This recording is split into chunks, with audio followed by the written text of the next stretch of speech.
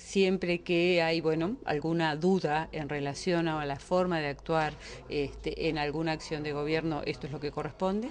Y por otro lado, además, eh, lo que vimos fue una propuesta que recibimos de un organismo de la vertiente artiguista, que es eh, el analizar todo este tema desde el punto de vista político en el tribunal arbitral.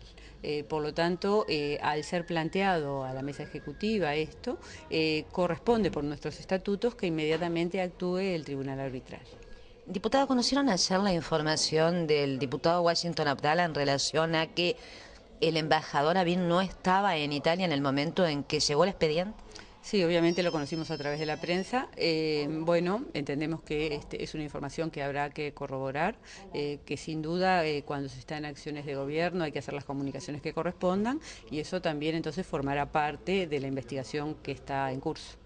La investigación toma al embajador Carlos Sabín, toma también a, la gestión o al trámite del embajador Tabarebo Calandro. Bueno, en realidad nuestra idea, eh, obviamente quien hace la investigación sabrá cómo la hace, es que eh, analice el tema en su conjunto, que es lo que corresponde, ¿verdad? Este, esto no es un tema que se remita ni a una persona ni a un área específica del gobierno, sino que tiene una actuación este, bastante más global, por lo tanto suponemos que estará incorporado.